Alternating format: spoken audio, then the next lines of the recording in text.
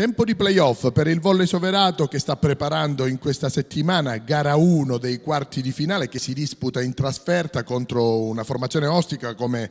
Marignano che si è classificata al quarto posto al termine della regular season al cospetto del settimo posto del volley soverato. Una sfida che si annuncia comunque avvincente perché le partite di regular season, seppur perse dal soverato col Marignano, sono state comunque lottate ed avvincenti.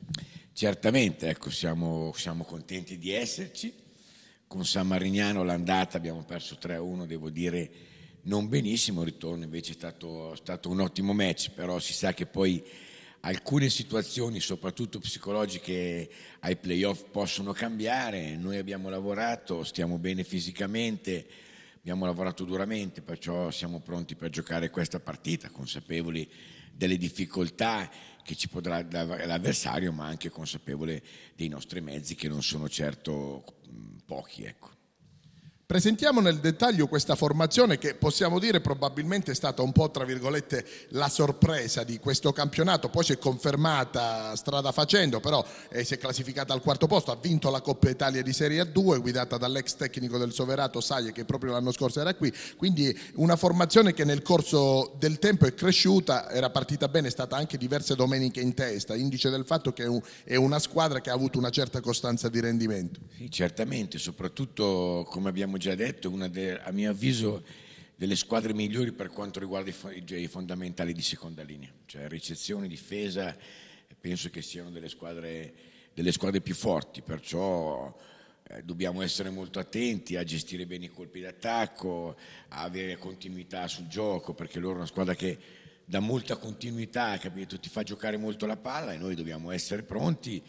eh, ci siamo preparati, abbiamo visto il loro gioco e abbiamo visto il grosso passaggio, che, che miglioramento che abbiamo avuto ultimamente in queste fasi e come già detto siamo, siamo contenti e fiduciosi di, di poter fare risultati.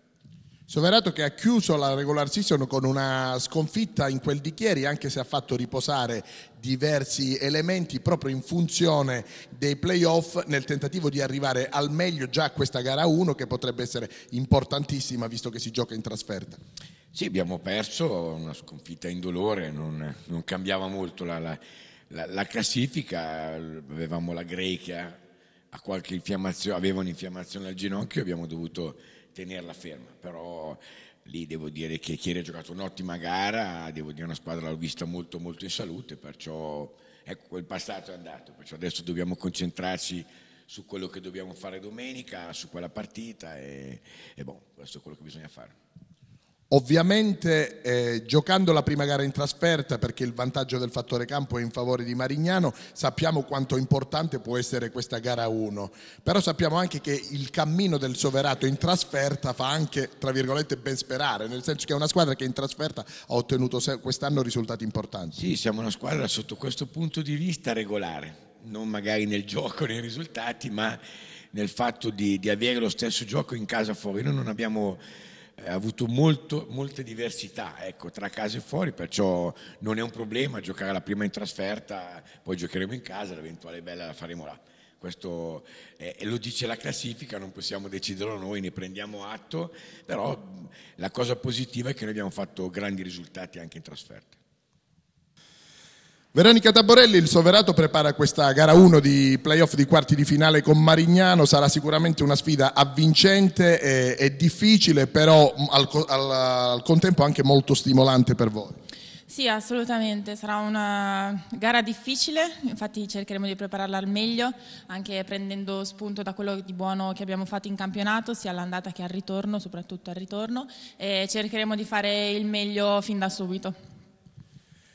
Sicuramente eh, arrivate a questi playoff comunque rinfrancati dagli ultimi risultati in campionato, eccetto quello dell'ultima giornata, anche se lì c'è stato un po', eh, un po', di turnover, come si suol dire, oltre al fatto che la vittoria poteva incidere poco sul piano della classifica. Adesso però, come si suol dire, i playoff comincia un altro campionato. Sì, cominciamo da zero cercando di resettare tutto. Eh, riposando il giusto e cercando di recuperare tutte le energie possibili per vincere.